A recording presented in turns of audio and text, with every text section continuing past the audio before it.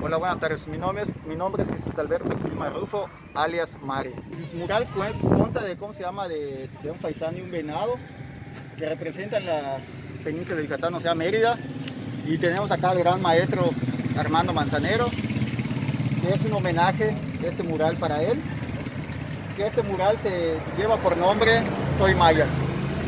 Y este mural, el material fue, ¿cómo se llama?, brocha, vinil acrílica, esmaltes, aerosoles, que es la técnica que se utilizó para hacer este mural. Es una técnica mixta.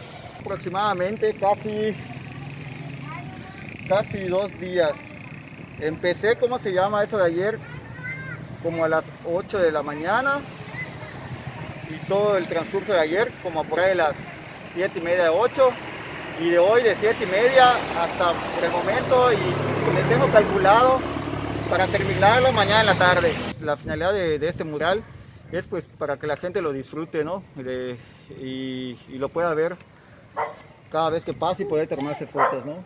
Con él y tenerlo de recuerdo. Y es, un homenaje, ¿no? al maestro Armando Manzanero.